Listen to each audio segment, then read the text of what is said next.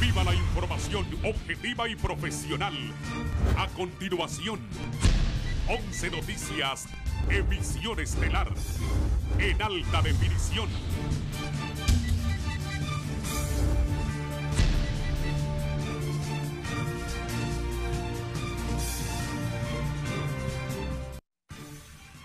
Esta noche en la emisión estelar de 11 Noticias. En plena vía pública, hombre ataca salvajemente a su compañera de hogar. Este bochornoso y repudiable hecho ocurrió en San Pedro Sula y fue grabado por un ciudadano. Parlamento nicaragüense ratifica tratado que delimita la frontera entre Nicaragua y Honduras en el Golfo de Fonseca. Candidato presidencial Yanni Rosenthal presenta su plan de gobierno a representantes de la Cámara de Comercio e Industrias de Tegucigalpa. Buenas noches, bienvenidos a 11 Noticias, emisión estelar. Un gusto saludarles. Buenas noches, Ivette Bulne. Buenas noches, licenciado Raúl Valladares. Buenas noches, Honduras. Gracias por sintonizarnos a esta hora por Canal 11 y por escucharnos por Radiovisión Honduras. Recuerden que estamos en nuestras frecuencias a nivel nacional. Veamos nuestro segundo bloque de titulares. Por lluvias, Copeco emite alerta verde para cinco departamentos del país. La Agencia Técnica de Investigación captura en Támara Francisco Morazán a dos presuntos distribuidores de droga con 2.2 millones de lempiras que trasladaban ocultos en un vehículo. Esto más a continuación en 11 Noticias, emisión estelar. Iniciamos con Iris Urbina, una nota en San Pedro Sula. Un hombre golpeó salvajemente a su mujer. Un ciudadano que pasaba eh, captó las imágenes. Sí, una Mitsubishi gris anda en una escalera de aluminio.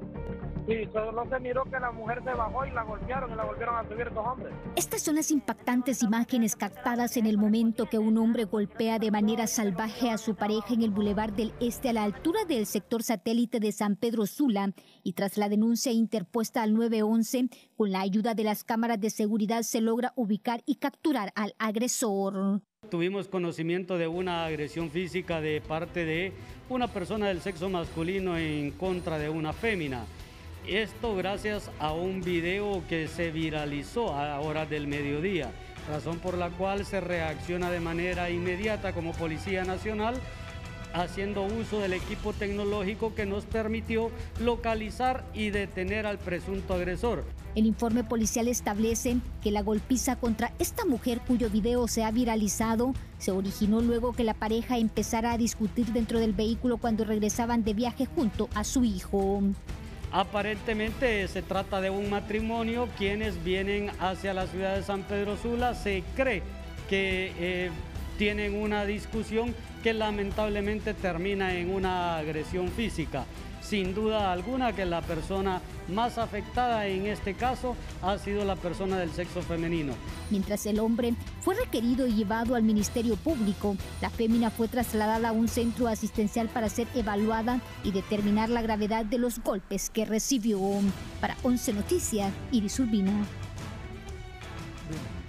Salvajes eh, golpeando a la mujer, pero no para la violencia contra la mujer.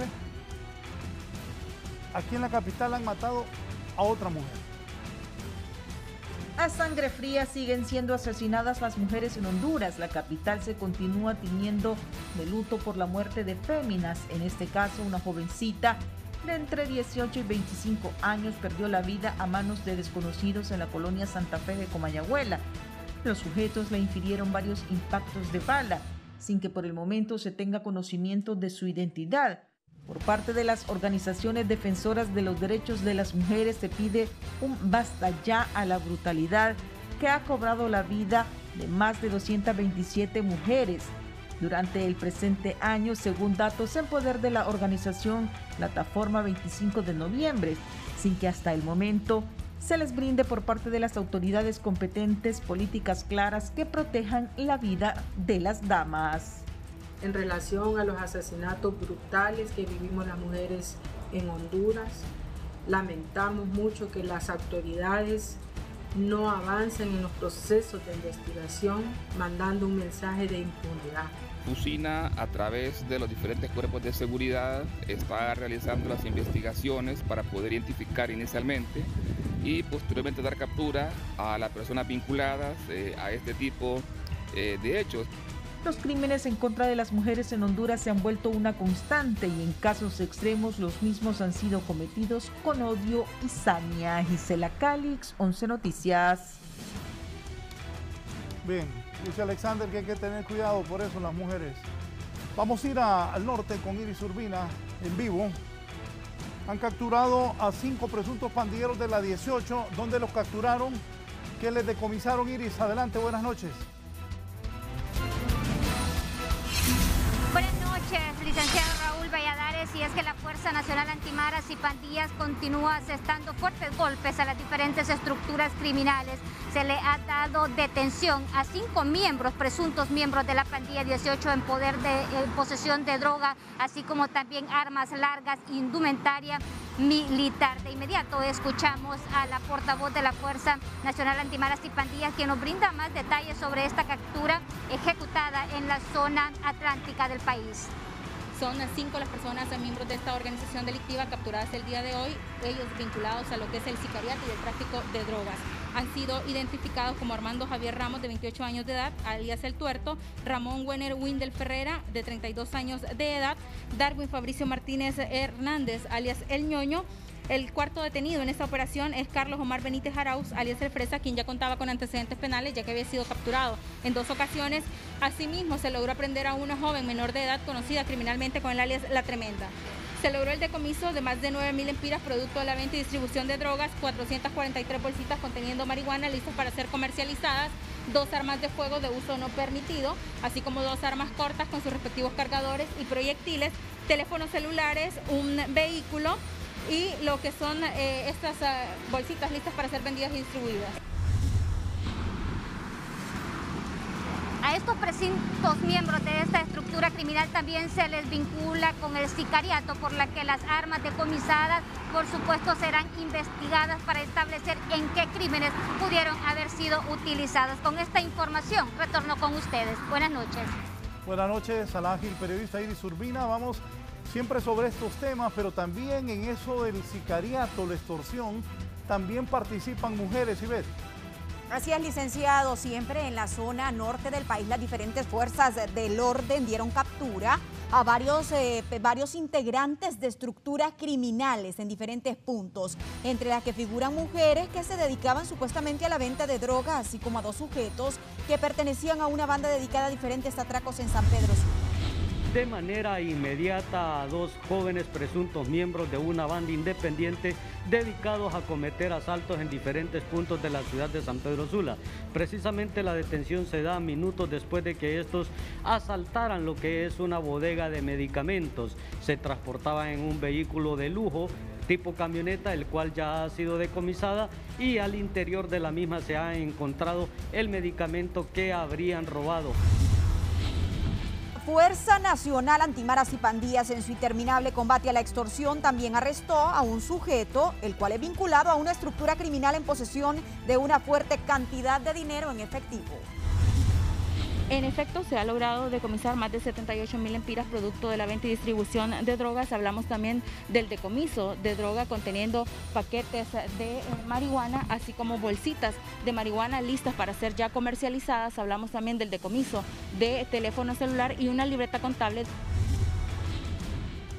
Y aquí en Tegucigalpa, la Fuerza Nacional Antimaras y Pandillas capturó a Alan Dirceu García Turcio, supuesto miembro de la Mara Salvatrucha, a quien se le atribuye la responsabilidad de la vigilancia en el lugar donde fue capturado, en la zona de la Villa Campesina y alrededores. A él lo conocen al interior de la organización criminal con el alias de Edric. Al momento de ser capturado, a él se le han decomisado al menos 150 envoltorios que contienen en su interior supuestas piedras de crack, al igual que 110 envoltorios que contienen en su interior polvo blanco, supuesta cocaína. Se le decomisaron unos binoculares, además de un radio walkie-talkie. Esto quiere decir que él eh, contaba con equipo para montar vigilancia en esta zona de la ciudad Mientras que en la zona de Támara, escuchen bien, se dio la captura de Óscar Alexis Torres Márquez y Ronmel Hidalgo Soto Jiménez en posesión de 2.2 millones de lempiras que trasladaban ocultos en un vehículo. Según las autoridades, este dinero puede ser producto de la venta de drogas. Interpuesto en las últimas horas la Fiscalía Especial contra el Crimen Organizado a Óscar Alexis Torres Márquez y Rommel Hidalgo Soto Jiménez a quienes esta madrugada la Agencia Técnica de Investigación Criminal les detuvo de forma infragante y en posesión de 2.2 millones de lempiras. Y a continuación les presentamos nuestro panorama nacional de esta noche. Panorama Nacional es presentado gracias a Bronco Pulmín y Bronco Pulmín D, expertos en gripe y tos. Partidos políticos advierten sobre el atraso que tiene el programa electoral a pocos días de las elecciones generales. Panorama Nacional fue presentado gracias a Bronco Pulmín y Bronco Pulmín D, expertos en gripe y tos.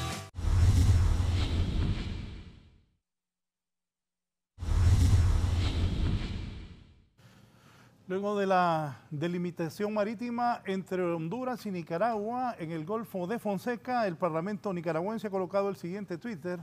Damos lectura, el Parlamento nicaragüense aprobó hoy el decreto legislativo del Tratado de Límites entre la República de Nicaragua y la República de Honduras en el Mar Caribe y aguas afuera del Golfo de Fonseca, dice este Twitter del Parlamento nicaragüense. Por otro lado, vamos ahora Diputados hondureños aseguran que el Congreso Nacional también se va a ratificar.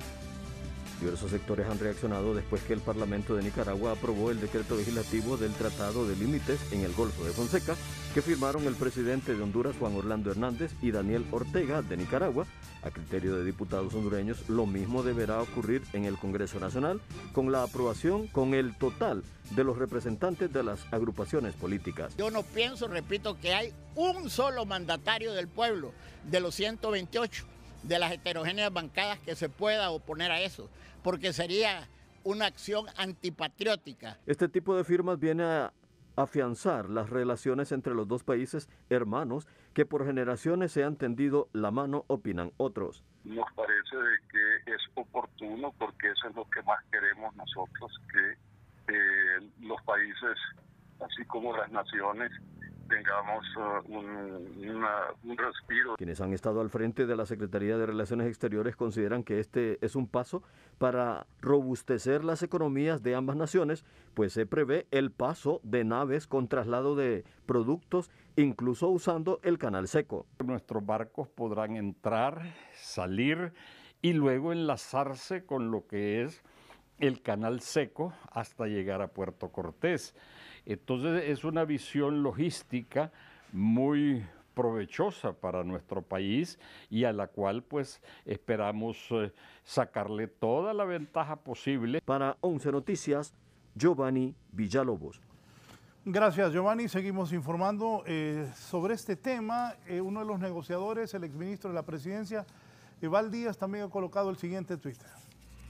Dice Eval Díaz que fue uno de los negociadores cuando era ministro de la presidencia. Agradecemos a la Asamblea de Nicaragua la aprobación del tratado firmado ayer con Honduras por la unanimidad 90 de 90 diputados. Demuestra el compromiso del Estado de Nicaragua respaldando el tratado de limitación de frontera marítima y refuerza los lazos de hermandad entre ambos pueblos, dice el exministro y abogado Eval Díaz, candidato a diputado también por el partido de gobierno Partido Nacional en el departamento de Francisco Morazán. Analistas consideran importante que el gobierno de Honduras y Nicaragua también logren firmar el Tratado de Límites Marítimos del Golfo Fonseca con El Salvador.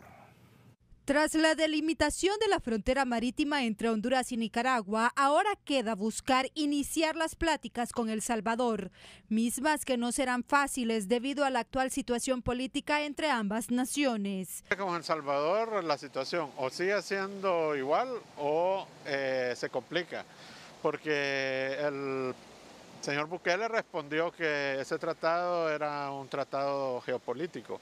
O sea que él está dando una connotación que como él está con China, ahora Honduras está acercando a Nicaragua, Nicaragua tiene buenas relaciones con Rusia. Por su parte, para el exministro de la presidencia encargado del diálogo entre Honduras y Nicaragua en el proceso y firma del Tratado de Delimitación Marítima, asegura que las nuevas autoridades deberán de comenzar estas pláticas con el gobierno salvadoreño, que mantiene su argumento de posesión de la isla Conejo. Viene la siguiente etapa, que es con El Salvador. Eh, esperemos que no se lleve mucho tiempo, que se logren esos acuerdos pronto. Eh, en este momento no hay diálogos sobre este tema. Otros aseguran que el fallo de la Corte Internacional de Justicia es firme en cuanto a los derechos de posesión de territorialidad marítima de los tres países en la zona del Golfo de Fonseca. De Bukele, que es muy centroamericanista, sería algo muy bueno que lo, que, lo hiciera con, Honduras para que no esté jugando con la carta esa de, del conflicto, del nacionalismo. Para 11 Noticias, Kelly Olivera. Las autoridades del Consejo Nacional Anticorrupción, encabezados por, por la abogada Gabriela Castellanos, realizaron en los Estados Unidos un foro internacional contra la corrupción e impunidad y denunciaron presunta corrupción en el país. Desde territorio estadounidense, el Consejo Nacional Anticorrupción de Honduras realizó un foro internacional contra la corrupción e impunidad con la participación de la congresista estadounidense Norma Torres y el director ejecutivo del Grupo de Trabajo de Triángulo Norte de USAID, Michael Camilleri. En su participación, la hondureña directora del CNA categoriza la corrupción como otra pandemia que acecha a los países del Triángulo Norte Centroamericano. Esa otra pandemia que se llama corrupción y esa enfermedad de antigua data en nuestros países centroamericanos, hoy es peor porque está siendo contagiada las instituciones. Tenemos estados con defraudación, con desfalco y falta de integridad. Una pandemia con un elevado nivel de contagio se transmite en distintas clases sociales. La corrupción no debemos verla como un problema solamente moral sino como un problema económico que arrastra todo el sistema jurídico y político. Por su parte, la congresista de Estados Unidos de origen guatemalteco, Norma Torres, reveló que las autoridades norteamericanas observan la falta de compromiso de las naciones centroamericanas en combatir la corrupción. La razón es muy transparente.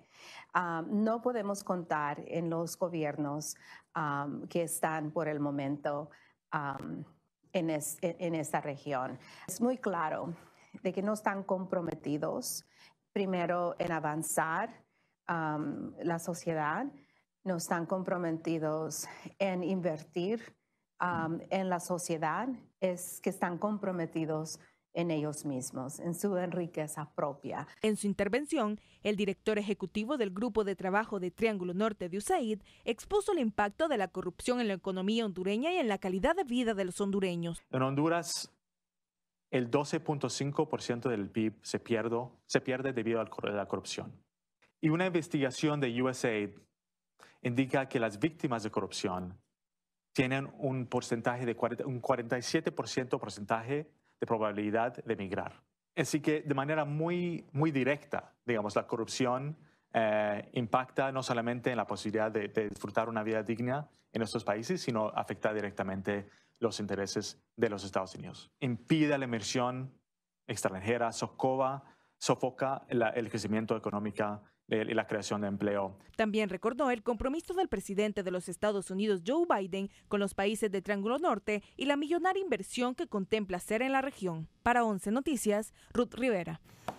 Gracias a la compañera Ruth Rivera, pero hoy la abogada, la conocida abogada hondureña Doris Imelda Madrid, eh, pues presentó una acusación contra las autoridades del Consejo Nacional de Anticorrupción especialmente contra la abogada Gabriela Núñez. Fue denunciada ante el Ministerio Público por presuntos delitos de malversación de caudales públicos por contratar en el Consejo Nacional Anticorrupción a miembros de sus familias. Así la denunció la abogada Doris Imelda Madrid.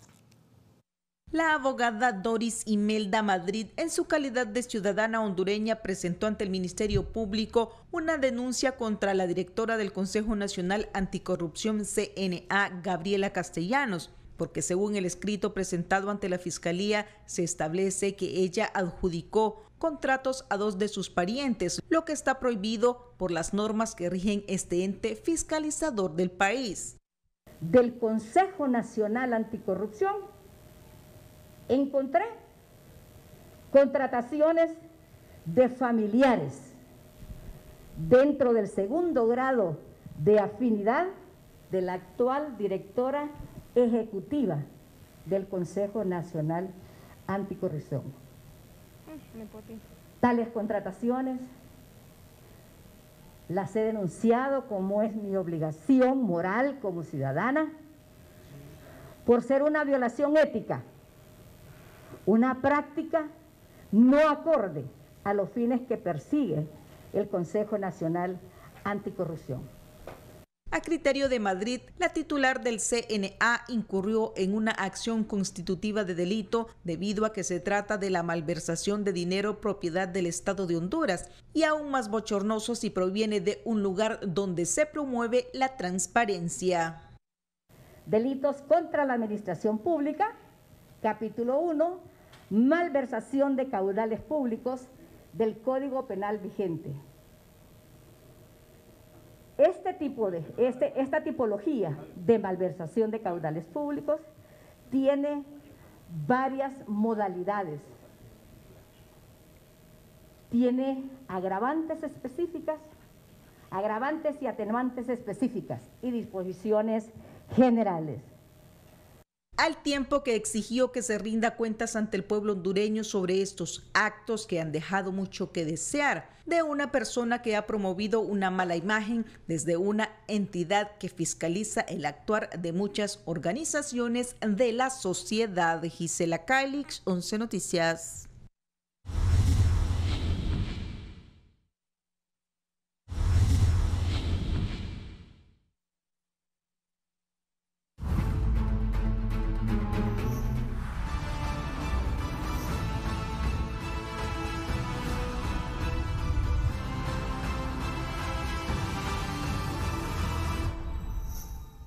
Iniciamos nuestro segmento político recordándoles que solamente faltan 31 días para las elecciones del 28 de noviembre y a este día los partidos políticos están advirtiendo sobre el atraso que tiene el programa electoral a pocos días de ejercer el sufragio. Autoridades del Consejo Nacional Electoral sostuvieron un encuentro con los representantes de los partidos políticos que participarán en la justa eleccionaria del 28 de noviembre, alertando que no está el equipo completo para el sistema de transmisión de resultados, tampoco el de la huella dactilar, no hay contratos con las compañías telefónicas, las imprentas algunas están sin realizar el tiraje de las papeletas, entre otras aristas. Los aparatos para leer huellas están incompletos, faltan 3.000 equipos a pocos días de las elecciones. Están tratando de migrar lo que corresponde a la duplicidad de, de, identidades. Además, las organizaciones en crecimiento denuncian que el CNE desarrolla el proceso electoral para un tripartidismo. La principal alerta es que el retraso del calendario electoral y en algún momento también el retraso de los recursos. Este proceso electoral se ha hecho, en primer lugar, para tres partidos políticos. Desde la institucionalidad aceptan que han existido algunos contratiempos, pero que el proceso avanza a todo vapor. Tenemos listo eh, todo lo que es el tema de la logística electoral. Ya tenemos casi 10.000 maletas limpias, eh, de las 18.000. Tenemos la tinta indeleble, el tema del sistema de transmisión de resultados tenemos ya todas las laptops. Los impases que denuncian las organizaciones políticas esperan resolverse a más tardar en una semana, concluyó Aguirre. Para 11 Noticias, Kimberly Espinosa. Mientras tanto, varios sectores tienen algunas dudas del avance del Consejo Nacional Electoral sobre este proceso electoral que ya se acerca. A esta altura del proceso electoral pasado, ya todo se encontraba listo para que la ciudadanía ejerciera el sufragio. A diferencia de ahora, cuando nos encontramos a un mes de las elecciones y son múltiples las falencias y retrasos que se han generado. Esto ha tardado considerablemente, se ha hecho ya eh, tardío y esperemos que no estemos ya a las puertas del proceso electoral y haciendo todo a última hora. Una tardía impresión de papeletas. Las urnas aún no están listas. Falta de capacitación para el uso del TREP y sistema de huellas dactilares. No existe ley procesal electoral y aún unos 800 mil nuevos documentos de identificación no han sido entregados. Este último factor podría generar una verdadera crisis, afirman analistas. Deberían también entender que estamos jugando con fuego, porque de no entregarse esas tarjetas aquí puede haber una convulsión pero a pesar de todos estos retrasos y desafíos que ha presentado el proceso, desde el Consejo Nacional Electoral confían en que este último mes juegue a su favor y se desarrolle una verdadera fiesta democrática. Todos esos imponderables que no dependen directamente del Consejo, eh, pongamos al más importante, el pueblo, eh, la gente que va a votar. Creo yo que está lista. Para Once Noticias, Fernando Artiaga.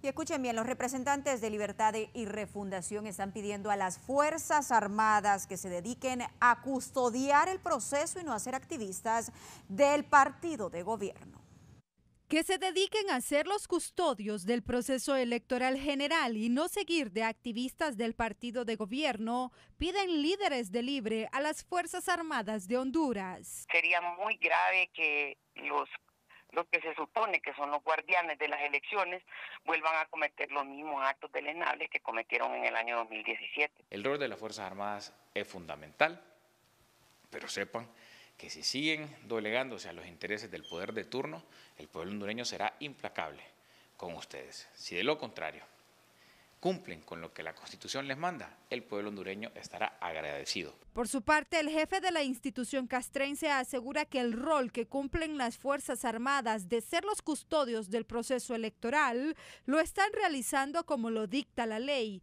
y pide a los políticos no manipular la opinión de la población en su contra. Transporte, custodia y vigilancia. Quien, quien cuenta, quien hace el, proceso de escrutinio, quien hace el proceso de declaratoria es el Consejo Nacional Electoral. Y la ley ya establece los procedimientos. Entonces no sé de qué está Del lado del liderazgo del Partido Nacional llaman a los libres dejar de estar desacreditando el proceso, ya que al final será la concejal representante de su partido quien le dará el triunfo al partido de la estrella solitaria. ¿Qué es lo que quieren?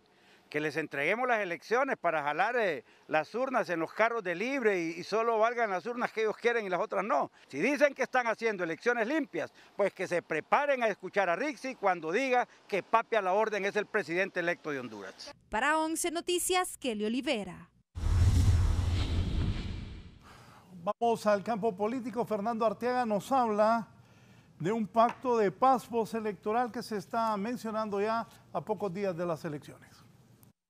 Tras informarse que el Consejo Nacional Electoral invitará a los partidos políticos a firmar un acuerdo de paz para evitar la violencia electoral en las próximas elecciones, diferentes sectores son del criterio que este es un tema de suma importancia ya que en Honduras no se puede permitir mayor crisis. Generar un, acuerdo es un primer paso, pero generar acciones, sobre todo basados en ese acuerdo, es el siguiente paso que debería demostrar los partidos políticos hacia la ciudadanía sobre todo pensando en que lo que tienen que desarrollar, sobre todo en este último mes, son eh, votos electorales hacia sus propios partidos políticos.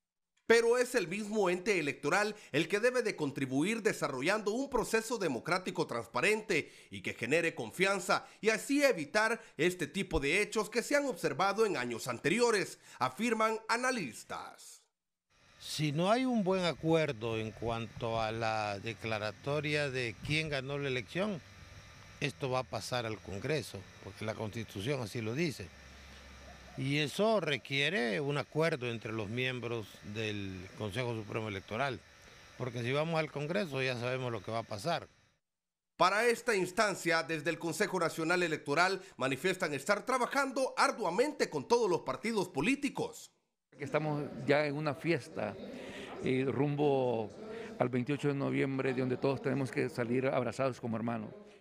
Para Once Noticias, Fernando Arteaga. Gracias, Fernando. Por otro lado, el candidato liberal Yanni Benjamín Rosenthal se presentó ante los miembros de la Cámara de Comercio e Industrias de Tegucigalpa para que ellos conocieran su plan de gobierno. El candidato presidencial del Partido Liberal, Yanni Rosenthal Hidalgo, se presentó este jueves ante los directivos de la Cámara de Comercio e Industrias de Tegucigalpa, donde dio a conocer su plan de gobierno de llegar a ser el próximo presidente de la República.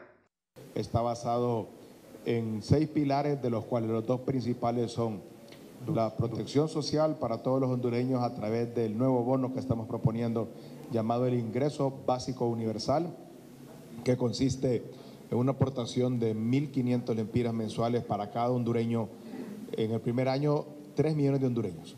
El otro eh, pilar de los ejes es la transformación económica de nuestra economía, que hoy es una economía de consumo interno, convertirla en una economía de exportación en fases, como hemos explicado, anuales, con una primera fase el primer año de aumentar exportación de productos agroindustriales, el segundo año la exportación de manufactura ligera, el tercer año de servicios tecnológicos y por supuesto durante los cuatro años promover fuertemente la industria del turismo.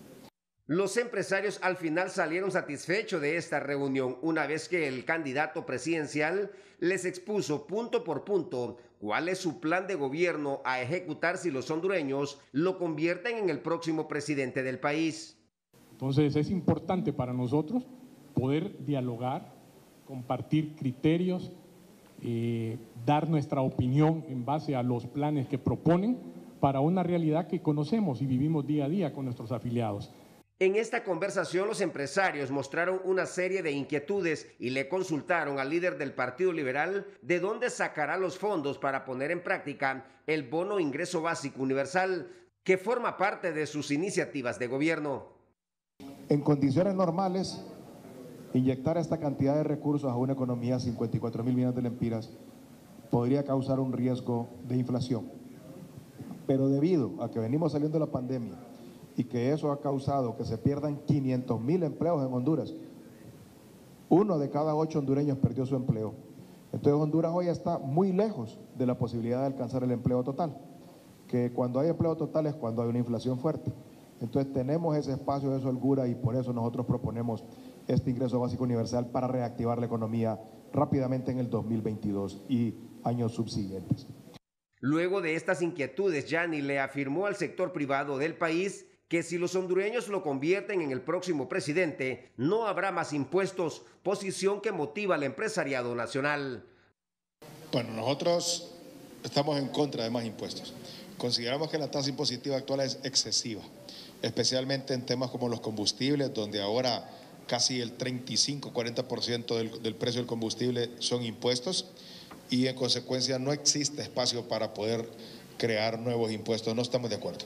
Honduras es el país que tiene las tasas impositivas más altas en la región, lo cual, uno, no nos hace atractivos para inversión extranjera, eh, nos pone dificultad para inversión local. Eh, digo, la idea es poder llegar a, a un balance que permita a las empresas hondureñas y extranjeras, poder desarrollarse en el país y derivar eso hacia la población en general. Pero sí, no más, no más impuestos, eso no aguantamos. René Amaya, 11 Noticias. Mientras se presentaba en la Cámara de Comercio e Industria de Tegucigalpa el candidato liberal Yanni Rosenthal, la candidata de Libre, doña Xiomara Castro, aquí en su casa de Tres Caminos, donde fueron a sacar a su esposo Mel Zelaya el 28 de junio, del 2009 los militares y lo sacaron a tiros y lo fueron a tirar al aeropuerto Juan Santa María dando un golpe de Estado. Hoy en esa casa, doña Xiomara recibió a los representantes de la Organización de los Estados Americanos que van a ser veedores de las elecciones. La misión de observación electoral de la OEA actualmente realiza una visita preliminar a Honduras antes de las elecciones generales del próximo 28 de noviembre y estará integrada por más de 80 especialistas y observadores internacionales que comenzarán a llegar al país a mediados del mes de noviembre y se desplegarán en todos los departamentos durante la semana de las elecciones. Xiomara Castro, candidata del Partido Libertad y Refundación, expresó al expresidente de Costa Rica, Luis Guillermo Solís, quien es el jefe de la misión, que con paz y espíritu democrático se debe vencer las campañas de odio, la incitación a la violencia, los ataques constantes al Consejo Nacional Electoral, que solo buscan debilitarlo, la intención de usar dos tarjetas de identidad para distorsionar el nuevo censo y el desprestigio del proceso de transmisión de resultados. Castro dejó claro que Libre no quiere injerencia en las elecciones, que no amenazan a nadie y que el pueblo hondureño los acompaña y que querían un cambio verdadero. Finalmente, la presidenciable expresó que el objetivo era ayudar a que las elecciones sean transparentes y aunque la democracia en Honduras está amenazada por el Partido Nacional, debían trabajar juntos para garantizar los derechos de la ciudadanía. Para Once Noticias, Judith Bellino. Y el partido anticorrupción no tendrá dinero para financiar su campaña política porque su cuenta bancaria está embargada por la culpa de anteriores autoridades de dicho partido, aseguró el candidato presidencial de ese instituto, Julio López Casaca. Casaca, el PAC debía haber recibido una transferencia al Consejo Nacional Electoral, sin embargo, la misma no se puede hacer por el embargo.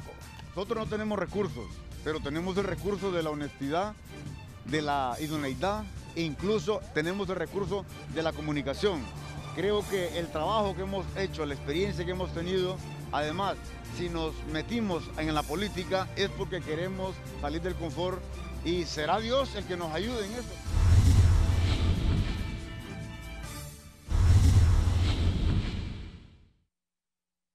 Continuamos con las informaciones de esta noche. Nos enlazamos totalmente en vivo con nuestro compañero Giovanni Villalobos. Escuchen bien, en la calle quedan varias familias luego de que un incendio destruyera sus casas. Esto en la colonia Israel Norte de Comayagüela. Adelante, Giovanni.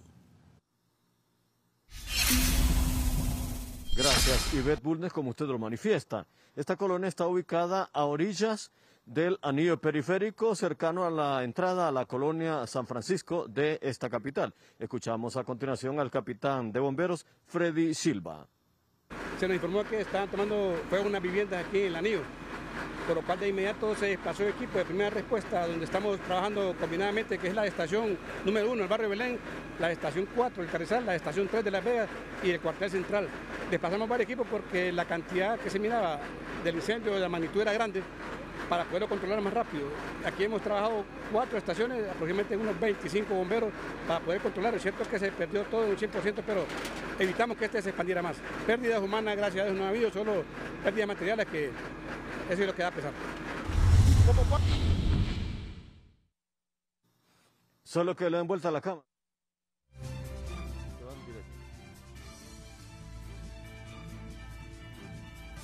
Es lo que da a conocer el capitán de bomberos Freddy Silva. Con este informe totalmente en directo, yo retorno con ustedes. Muy buenas tardes. Bien, buenas noches. Gracias a nuestro compañero Giovanni Villalobos por esa información. Lamentablemente que estas dos familias hayan perdido sus viviendas. Vamos con Wilfredo Alvarado, que se encuentra en otro punto de la capital. Hay lluvias para este próximo fin de semana. Y eh, pues Copeco ya ha alertado y ha también emitido alerta verde para cinco departamentos del país. Escuchen bien, alerta verde para cinco departamentos del país debido a las intensas lluvias que se esperan para este próximo fin de semana.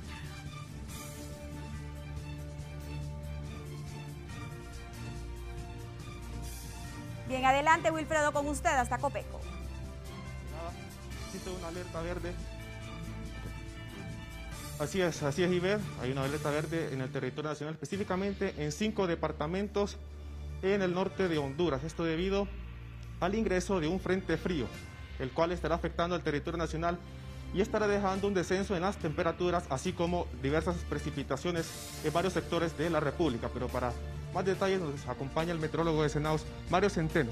¿Cuáles serán las condiciones en las próximas horas, Mario? Buenas noches. Buenas noches. Bueno, tenemos hasta llegada de este primer frente frío. Estaría ingresando al país en horas de la madrugada. Estaría tocando pues primero como a Puerto Cortés y luego en su desplazamiento va a afectar todo el territorio nacional con un descenso significativo en las temperaturas máximas. Vamos a sentir frío, especialmente el día domingo cuando tendríamos la temperatura más baja.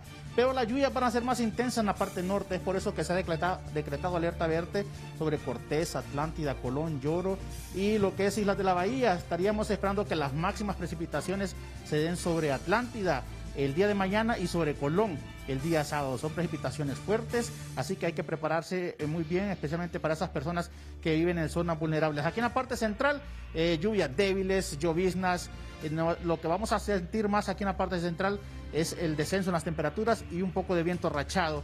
Y en la parte sur únicamente estaríamos esperando algún tipo de lluvia débil con un descenso muy leve en la temperatura. muchas gracias a Mario Centeno, MDS meteorólogo de Senados aquí en Copeco. Compañeros, advertir a la población, sacar el abrigo y tener precauciones debido por las lluvias en el territorio nacional. Retorno con ustedes al estudio de 11 Noticias, emisión estelar. Buenas noches. Buenas noches, Wilfredo, gracias. Bueno, pendientes por estas lluvias y esa precaución en la población hondureña por la saturación de suelos o por cualquier inundación que puedan provocar estas lluvias del fin de semana. Licenciado, de esta manera nosotros llegamos al final de 11 Noticias. Ya nos vamos, ya viene Marro Mejía. Para los que nos encanta el fútbol, hoy las hondureñas han goleado 7 a 0 a Islas Turcas y Caicos en un torneo femenil sub-17. Honduras inicia el torneo de la mejor manera con una goleada de 7 a 0. Helen López, Larisa Arias metió cuatro goles Larisa. Susan Enríquez y Erika Cárdenas fueron las goleadoras del equipo hondureño que, repito, Honduras goleó 7 a 0 a Islas Turcas y Caicos. Al menos las muchachas en, este torneo femenil sub-17 ya tiene también Marlon.